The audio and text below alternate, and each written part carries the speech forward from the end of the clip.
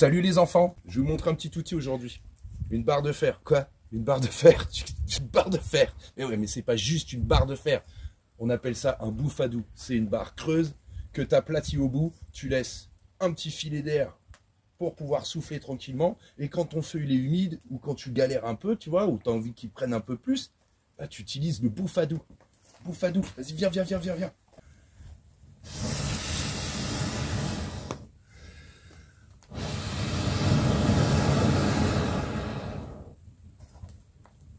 Et voilà le bouffadou, les enfants.